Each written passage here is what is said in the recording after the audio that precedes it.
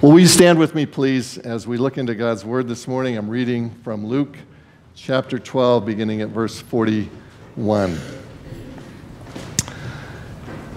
Peter said, Lord, are you telling this parable for us or for all? And the Lord said, Who then is the faithful and wise manager whom his master will set over his household to give them their portion of food at the proper time? Blessed is that servant whom his master will find so doing when he comes. Truly I say to you, he will set him over all his possessions. But if that servant says to himself, Oh, my master is delayed in coming, and begins to beat the male and female servants, and to eat and drink and get drunk, the master of that servant will come on a day when he does not expect him, and at an hour he does not know, and will cut him in pieces and put him with the unfaithful. And that servant who knew his master's will but did not get ready or act according to his will will receive a severe beating. But the one who did not know and did what deserved a beating will receive a light beating. Everyone to whom much was given, of him much will be required. And from him to whom they entrusted much, they will demand the more. Father, we thank you as always for your precious word.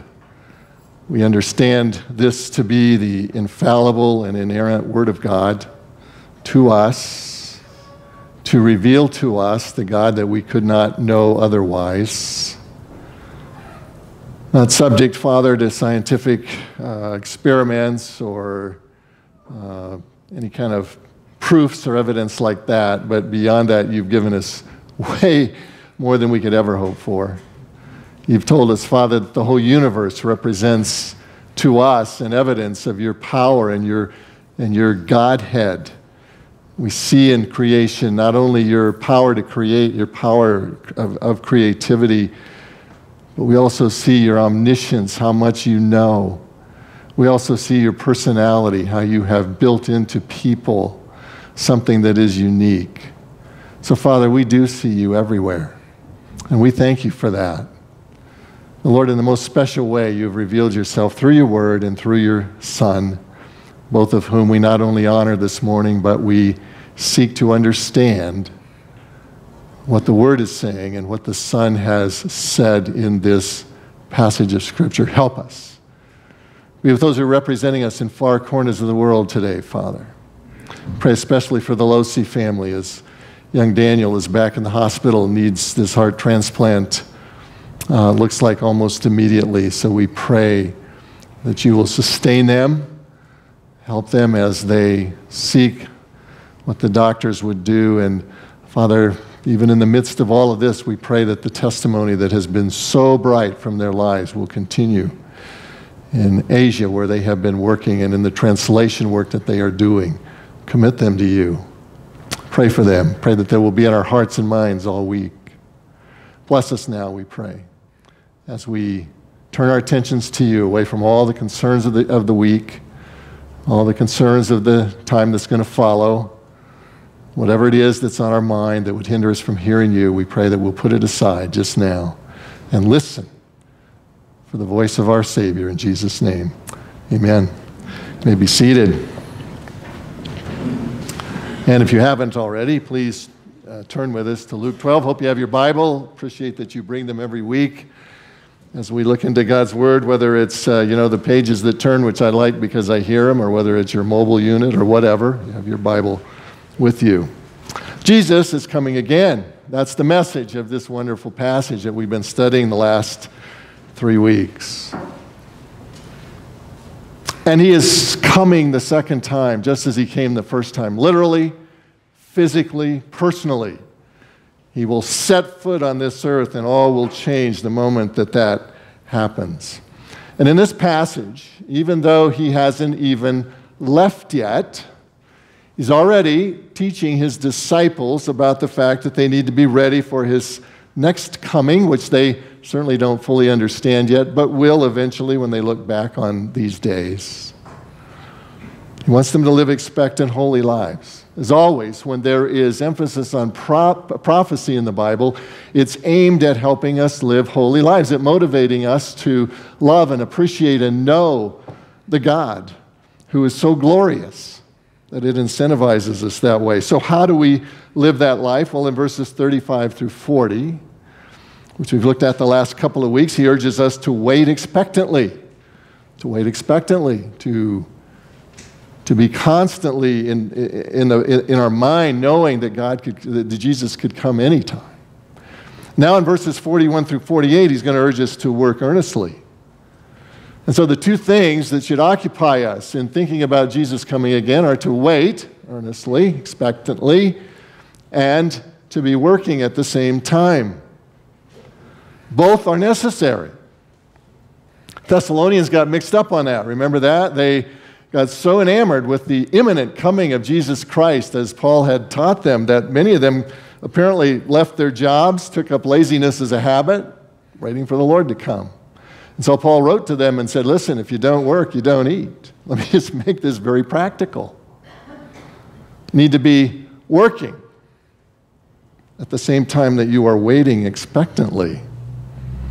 So, as Jesus has been in those verses 35 through 40, emphasizing this expectant waiting, Peter jumps in. Not an unexpected event, right? Peter constantly had that tendency. And Peter jumps in and he says, Well, Lord, who, who, exactly are you talking to there in verse, in verse 41? He says, are you, are you telling this parable for, for us, by which I think he means the 12, the apostles, or are you telling this for all, for the whole crowd that's there?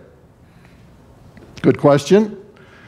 Jesus does not answer it directly. Instead, he immediately launches into another parable, this time emphasizing that those who are ready, those who are ready, will be working. They will be faithful. The parable contrasts a faithful servant or a faithful manager with an unfaithful manager. And it becomes clear by the end of this parable that Jesus is contrasting true believers with those who are only professing believers. That's a huge difference, beloved. And we have to realize he essentially is answering Peter's question by saying this parable is for everybody in this crowd. Now, there were some irreligious people. There are three classes of people the irreligious who don't care. They've long ago written off religion, make no pretense, would never darken the door of a church, have no interest whatsoever. But then there are religious people who think they are believers, who are, think they are say think they are headed for heaven, who are not, because their lives are not being lived in faith in Jesus Christ. Be living still for self, and it's a hypocritical facade that they're putting on. And then there are those who are true believers. And Jesus here is contrasting those latter two. And he says the true believer is one who is not only waiting expectantly, but he is working earnestly in the cause of Jesus Christ. He's like the Minutemen in the Revolutionary War, right? They were waiting expectantly with rifle in one hand, and they were working earnestly with plow in the other hand for what might come. And that's what Jesus is urging here. That's the attitude that I'm looking for. Mere professors have long ago given up. The idea that Jesus is going to come in 2,000 years, I'll explain that some other way. But that Jesus is going to come, no, they, they are not expecting him anymore. True believers are. And because they expect him and because they have seen the glory of who he is, they are working. They're part of, the, they're part of God's kingdom even now. So, in this parable, what Jesus does really is contrast the possessors, those who really possess eternal life, and the professors, those who claim Christ, claim some way salvation, and really do not have it. So we have an excellent opportunity to, to see where do we, which camp do we fall into here. Three ways that he contrasts possessors versus professors. So, number one, possessors are faithful. It's a simple, easy one from this passage, right? Possessors are faithful. Professors are unfaithful. They're unfaithful. Verse 42 Who then is the faithful and wise manager whom his master will set over his household to give them their portion of food at the proper time? Possessors are faithful to their mission. Faithful managers feed the household. Now, this was obviously applicable to the disciples in Jesus' time, right? To the apostles. Remember what he told Peter when Peter was making his confession after the resurrection of Christ? Do you love me, Peter? Yes. Then feed my lambs, feed my sheep. Three times in that passage, Jesus emphasizes, I want you to be feeding people. I want you to be teaching people. I want you, t- tells the disciples, teach them all things that I've commanded to you. This is your function. Obviously, the disciples were particularly doing that on a full time basis, but the clear indication from Scripture is that this is the responsibility of every believer. Every possessor of faith in Christ will want to share that with others. In fact, the Bible is, is pretty clear that God has gifted us to work earnestly, right? 1 Corinthians 12 through 14, 1 Peter 4, these are great passages that talk about the spiritual giftedness, the way that God has, for every true believer, given them special gifts in order to minister for Him. Romans 12 is another passage that speaks to those. And he says in Romans 12, 6, having gifts that differ, not the same, but having gifts that differ according to the grace of God, let us use them. He didn't give us gifts to let them lay around, right? Now, the emphasis in the New Testament on our giftedness has to do really with our work in ministry in the church. But, beloved, it's equally important to understand that the gifts and abilities God has given us are intended to extend far beyond the walls of the church. That they're intended to enable us to let our light shine before others so that they could glorify our Father who's in heaven. So, wherever we are, in whatever work or school or occupation or whatever, we are representing Christ. And so we need to be those who are working. Paul says in 1 Corinthians 4 2, you'll remember this passage. He says, This is how one should, should regard us as servants of Christ and stewards of the mysteries of God. Stewards of the mysteries of God simply means we know the gospel. And people that we're around every day don't know the gospel. So we're stewards of the mystery of God. And he says, therefore, it is required of stewards that they be found faithful. We are to be about the work of our Lord, whatever our secular work is, whatever our secular career, and so on. Tim Keller. Some of you know and have read some of Tim Keller's books or heard some of his sermons. He was one of the, uh, one of the sermons we used on a DVD one time. Tim Keller pastored a church in Virginia for about 10 years, and then he taught at a seminary, Westminster Seminary, for about five years, and then he decided he was going to start a church in New York City. This was in the late 80s, and everybody told him, A church in New York City? Are you kidding? You can't start a church in New York City. I, an, an Orthodox church. He said that we've done a study of this. The remaining congregations in New York City are still there because because they've adapted Christian teaching to the issues of tolerance and pluralism and compromise that constitute liberal theology these days. You can't go in there and preach Christ. They said, don't, don't think you can go tell people that they have to believe in Jesus. That's considered way too narrow minded for, for, these, for these New Yorkers. Keller insisted that he was going to do it because God was asking him to do it, and that the new church would, in fact, teach the Reformed faith, Orthodox theology, that would emphasize the inspiration of the Word of God, that would emphasize the deity of Christ, that it would teach that we need to be spiritually regenerated. And even though he was told that these doctrines would be rejected hopelessly as, as outdated by the New Yorkers, the church was established.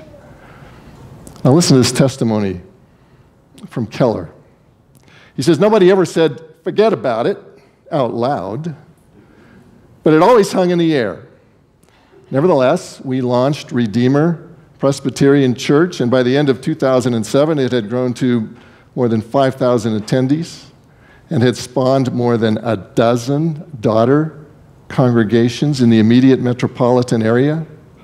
The church is quite multi ethnic and young, average age about 30, and is more than two thirds single. We were as stunned by this as anyone. Some of you may know Bob and Diane's uh, son Kyle goes there, along with his fiancee Nicole.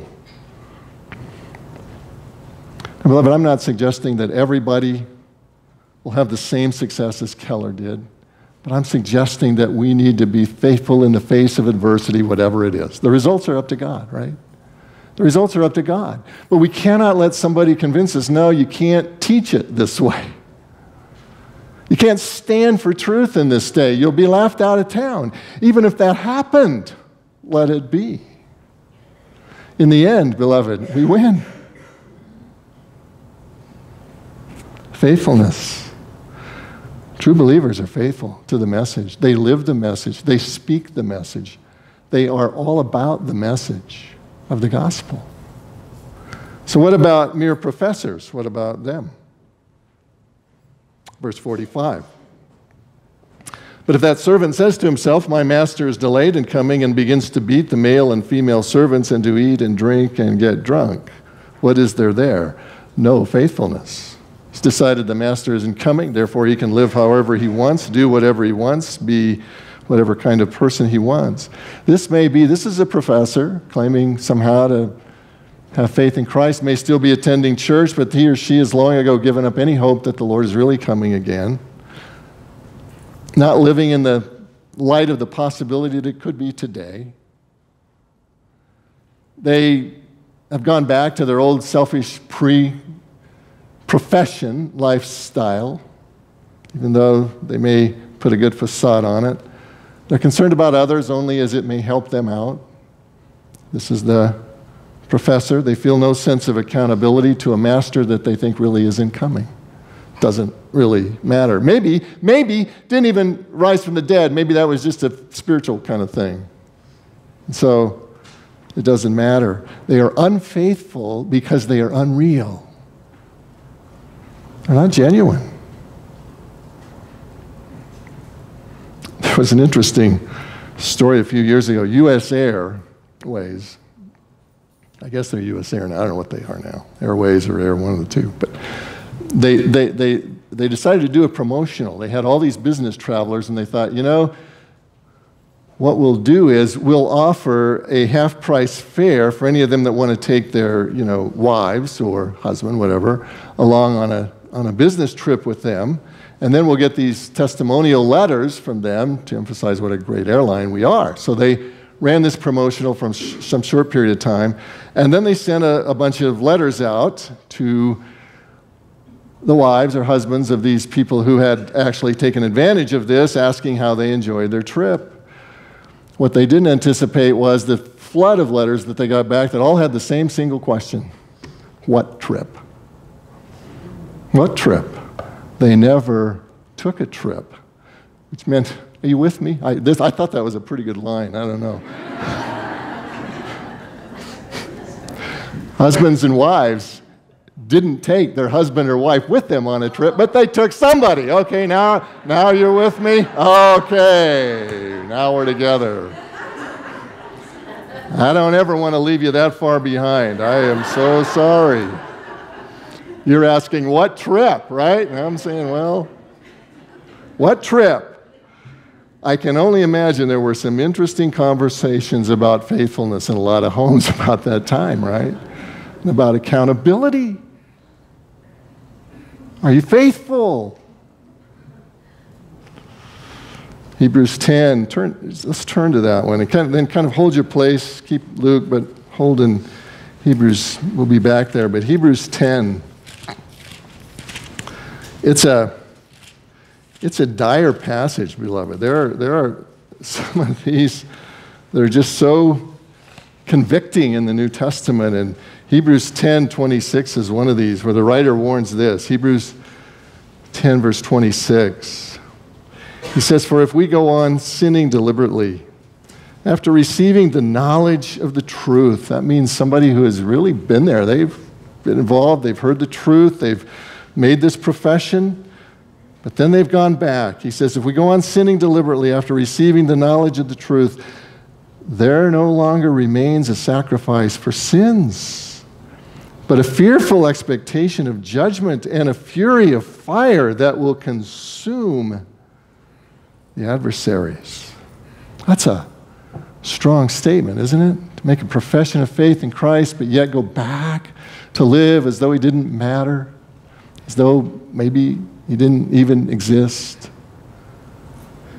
The Bible has nothing to promise except judgment in that case. And you don't have, you know what? You don't have to look further than Jesus' inner circle to find such a person, right?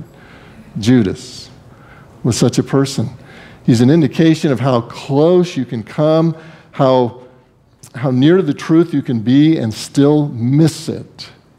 I know you're all saying to yourself, yeah, but I'm not Judas. Well, let me ask you, when was the last time you uttered the words, Jesus Christ, in the presence of anybody other than one of your church friends?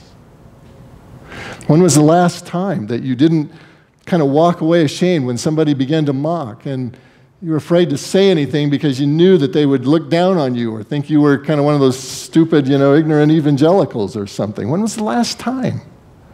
Because don't those things put us right in the same company as Judas? And, and doesn't it cause us to say, wait a minute, am I, am I a professor or am I a real possessor of the Lord Jesus Christ? Possessors are faithful, professors are unfaithful. Secondly, possessors are wise, professors are unwise. Possessors are wise, professors are unwise. Verse 42, back in Luke 12. Who then is the faithful and wise manager? Who is wise? what does it mean to be wise? Well, clearly, in this context, the wise person is the one who is living in the expectation of the coming of the master, right? The wise person is the one who is able to look ahead. The wise person is the one who can see beyond this life into the next. The wise person is the one who can see beyond time into eternity. And so, one of the characteristics of a possessor is that they are living in light of that fact, while the professor is just living for here and now. It's all that really counts to them. I love the example. There's, a, there's, a, there, well, there are many great examples in the Bible, but Abraham is one who's an example of a wise servant. You remember how Abraham in Genesis 12 and 15 and 17 and so on got all these wonderful promises from God. Your, your descendants are going to be like the sand of the sea. This land is going to be your land. I'm going to bless you, and those who Bless you, I will bless. Those who curse you, I will curse. Abraham had all of these wonderful promises to God, from, from God. And yet there's, a, there's a, a passage that gives us an insight into his inner life in the book of Hebrews. So if you're in Hebrews, just turn over to Hebrews 11. Hebrews 11 and look at verse 9. Well, let's start with verse 8. By faith, Abraham obeyed when he was called. Hebrews 11 8. By faith, Abraham was called, uh, obeyed when he was called to go out to a place that he was to receive as an inheritance. And he went not knowing where he was going. You remember how God asked him to go, and Abraham said, Where? And God said, I'll show you later. Um, and, and he went. He followed the Lord. And the Lord took him to this land of promise, which he never ever owned except for one cave where he buried his wife. It's the only part of it he ever owned. So, verse 9 by faith he went to live in the land of promise, but he lived in it as a foreign land, living in tents with Isaac, his son, and Jacob, his grandson, heirs with him of the same promise, and yet not having anything.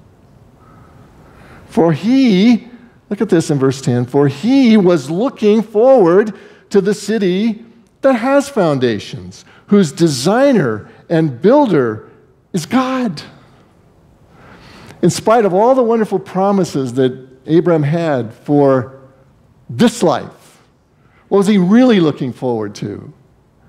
He was looking forward to what it all represented. He was looking forward to life with with his God and Savior in heaven. That's what it tells us was his mindset. That drove Abraham's obedience and his faithfulness. Abraham would have never been like the guy in Luke 12 earlier in the chapter. Remember in verse 20?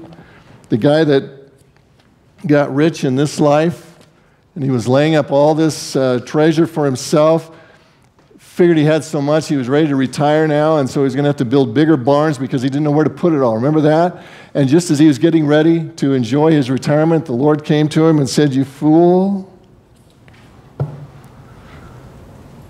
think we mentioned when we studied that, it's the only place in the Bible God directly calls somebody a fool. It's not the only ones that are foolish, but wow, he, he nailed this one. Fool, this night your soul is required of you, and the things you have prepared, whose will they be?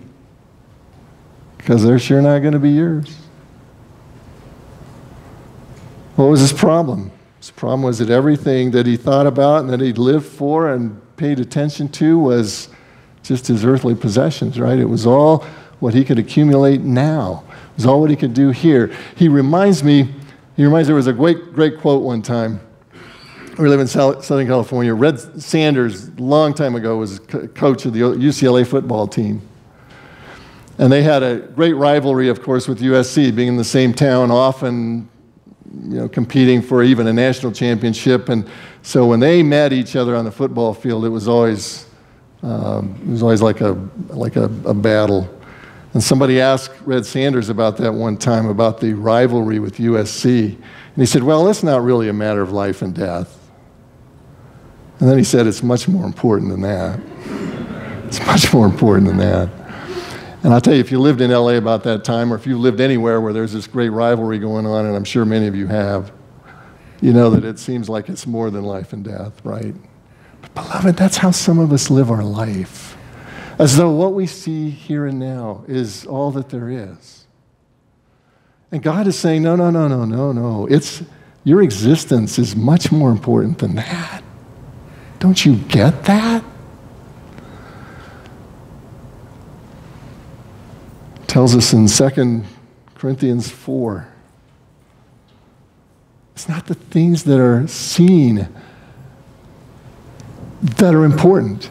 The things that are seen are transient. 2 Corinthians 4, I think it's verse 16, 17, somewhere along there. The things that are seen are transient. The things that are unseen are the things that are real. So it's just another way of saying the same thing. The faithful servant is wise, he sees that.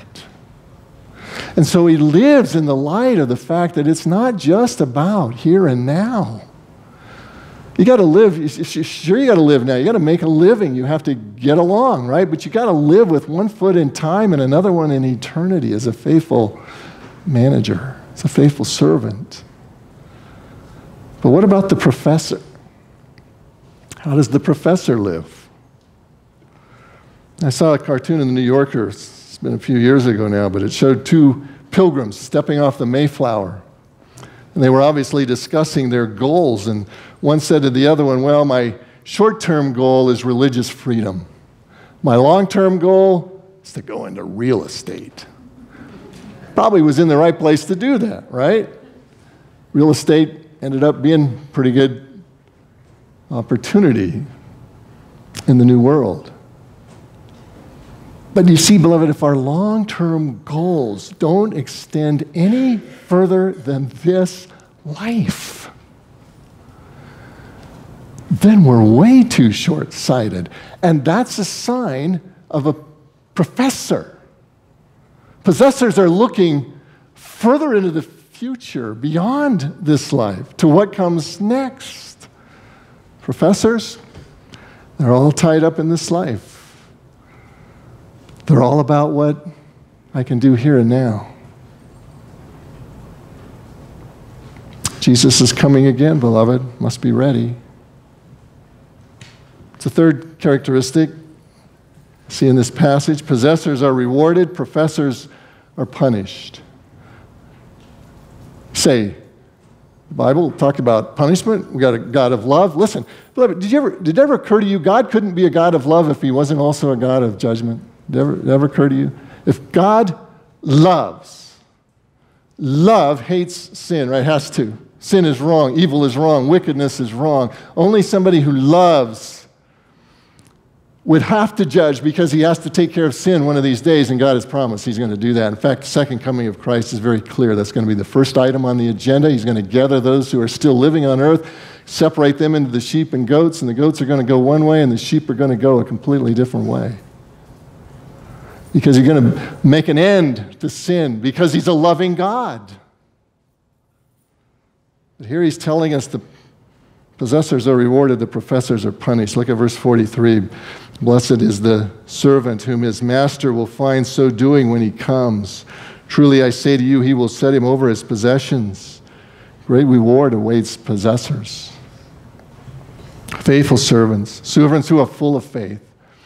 You know, the greatest reward will be to be in heaven, right? To be with the Lord, to see Jesus. John was so looking forward to that. He had known Jesus. He'd seen him here on earth for his whole life, but he says in 1 John 3 2, I can hardly wait to see him because the next time I see him, I'm going to be like he is. I can't wait. Not only will the power of sin be gone, but the presence of sin will be gone, and John could hardly wait to see Jesus. What we reward awaits those Heaven will be ours. Everything that you've ever sacrificed here, beloved, believe me, will be restored 10,000 fold in heaven. I read a story one time about an elderly couple. They came to Philadelphia one night, and it was, it was late. They didn't have a hotel room, and they came to this hotel, and they asked the clerk, you know, can, can you give us a room? And he said, I, I don't have any rooms. The whole city is, is, is overrun by this convention that's going on. And they said, Well, if you don't have any rooms, can you tell us somewhere where we could get one? He said, I, I, don't think there's a room in the whole town. I, I don't know where to send you. And then he got thinking about it and he thought, Well, I'm going to be working all night. My room is available. And he felt kind of bad for him. And so he said, I'll tell you what, if you want to stay in my room, you can stay in my room tonight, and uh, no charge. You can have my room because it's not going to be occupied tonight. And so they took the room.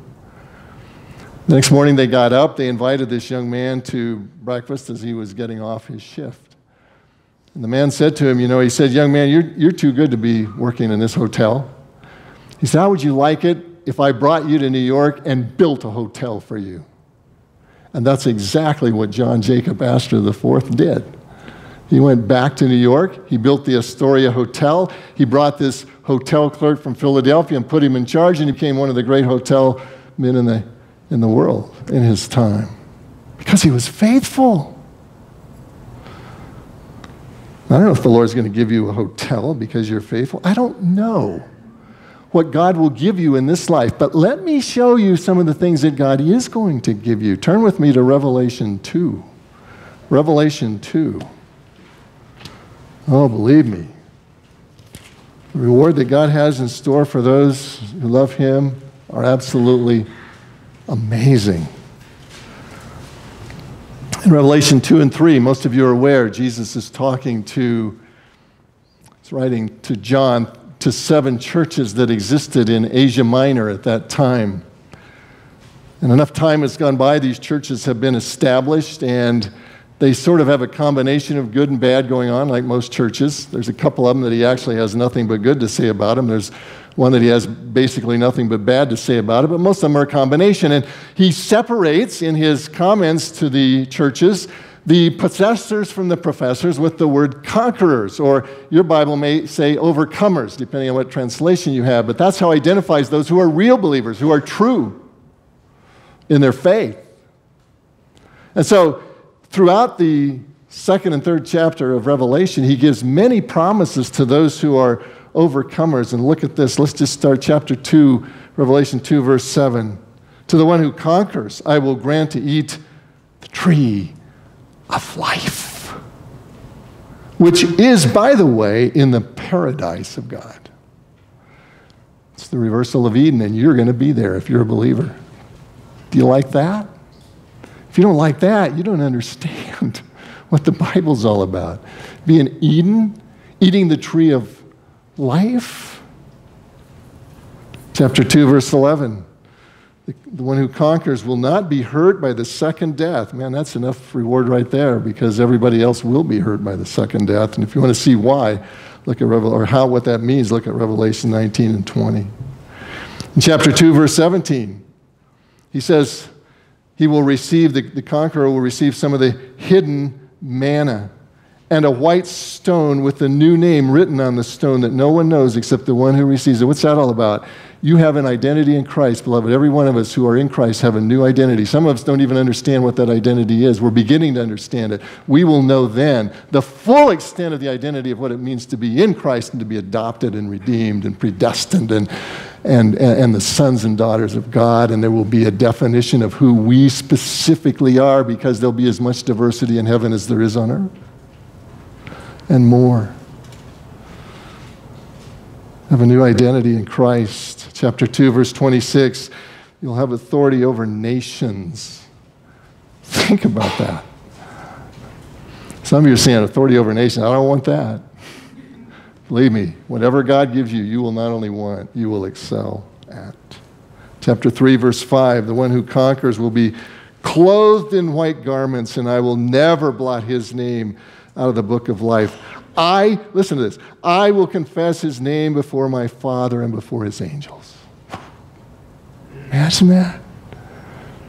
Jesus will say to the Father, This is Dan.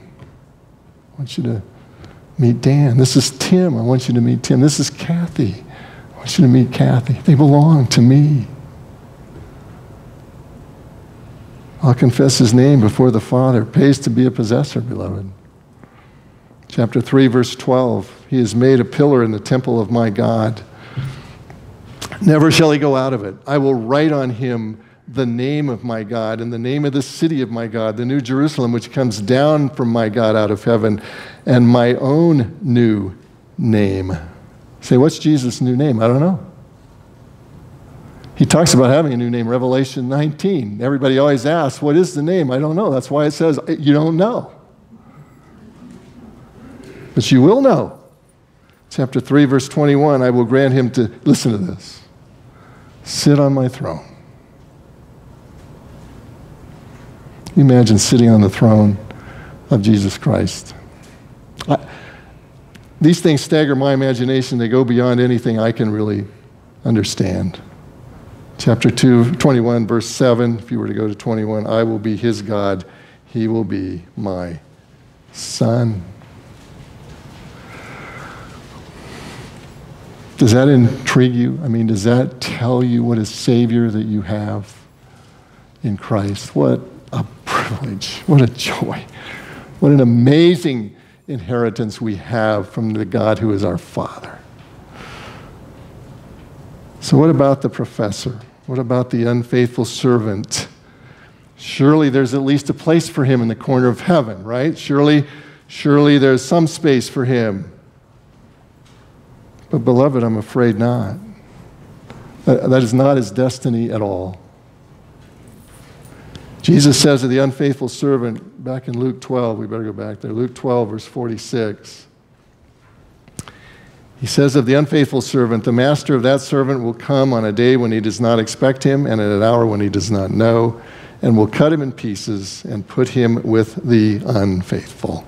That means the unbelievers. That means those who are separated eternally from God. This is language that, express, that is explicitly describing an eternity away from God. They will be cut off without remedy. Say, are, are you sure about that? Well, I'm sure, beloved. Psalm 73, verse 27. Psalm 73, 27. Here's what this one, that one says. It says, For behold, those, who are far from you shall perish. You will put an end to everyone who is unfaithful to you. It's not just words that matter, it's our life showing the reality of our faith that matters. Revelation 21, verse 8, re- removes all doubt, if you're anywhere close to that. But as for the cowardly, the faithless, that's the same word we have in Luke, the detestable, as for the murderers, the sexually immoral, the sorcerers, the idolaters, and all liars, this portion, their portion will be in the lake that burns with fire and sulfur, which is the second death. Hell awaits, beloved, the unfaithful. Those who by their life deny his lordship. That is the fate of the unfaithful servant. He claims Jesus as his Savior, but he lives as though Jesus didn't even exist, really, outside of maybe Sunday at church.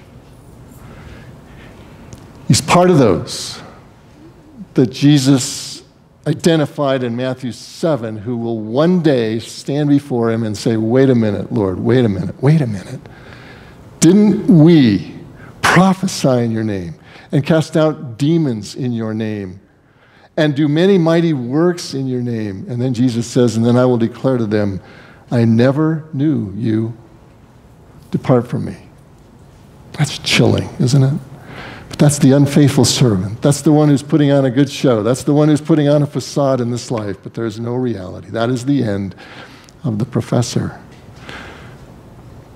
There's only one interesting mitigating note in verse 47, Luke 12. It says, And that servant who knew his master's will but did not get ready or act according to his will will receive a severe beating.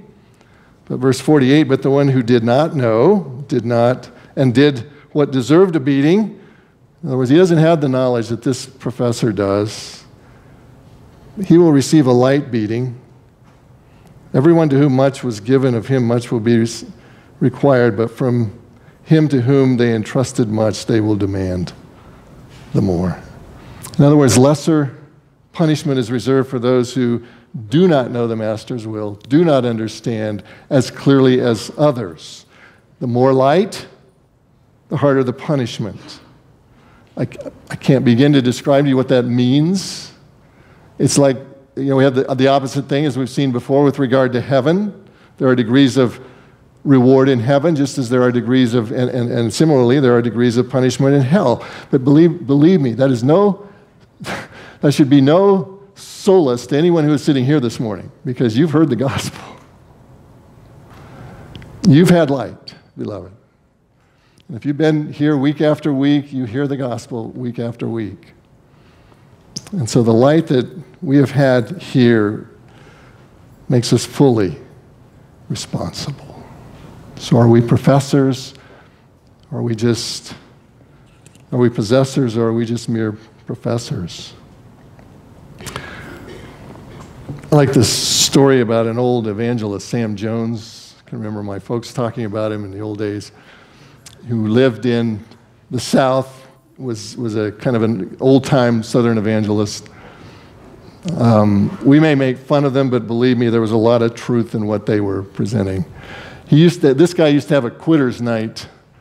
So during the course of his week of revival meetings or two weeks or whatever, he'd have a quitter's night. And on that night, people who were repentant would bring symbols pictures, whatever they could find, representing the thing that they were repenting of and that they were turning from and that they wanted to be no part of their existence anymore. So they would, you know, bring different things. Some, some of them would bring, you know, bottles of uh, whiskey representing their, their, their tendency to drink too much. Some of them would bring pictures of mistresses to throw in the fire. Some of them would bring catalogs representing their covetousness.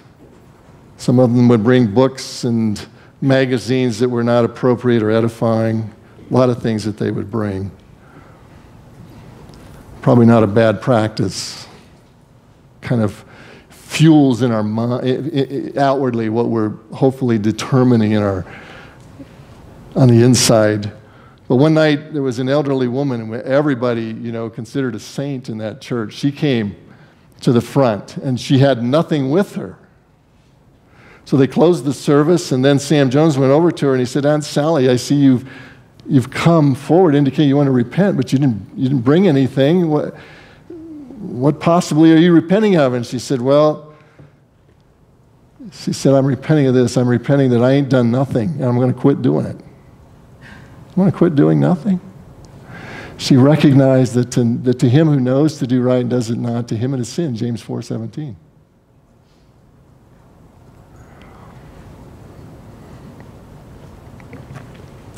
Here's the good news, beloved. None of us can be a good servant on our own. We can't. Thankfully, there is one who has been a good servant on our behalf. All the way to the cross, he obeyed the Father perfectly, and he did it for you, and he did it for me, so that we have forgiveness if we will simply ask for it.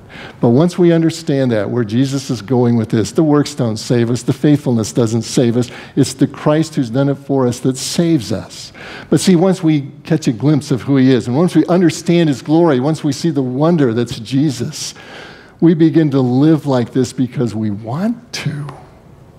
If you don't have the want to, you need to examine closely.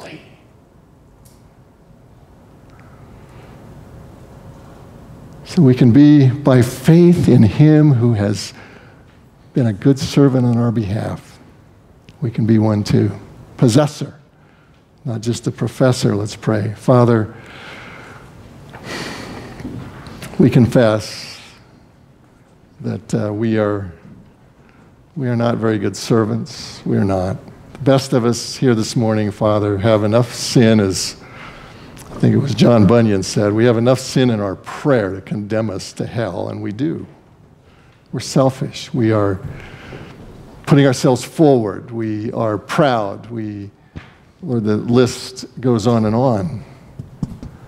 But Father, to those that you've regenerated, to those who by faith have clung to the Christ who has done all of this for us, to those, there will certainly be the desire to get it right. We've not only met our sin, but we've turned from it. And when it overtakes us again, we turn again, and it becomes the habit of our life to be confessing our sin and to be right with you and to be, well, to be doing what this passage says, to be waiting expectantly and to be working earnestly in light of the fact you're coming again. Thank you that you came once. Thank you that you're coming again apply this to our life. I pray in Jesus' name. Amen.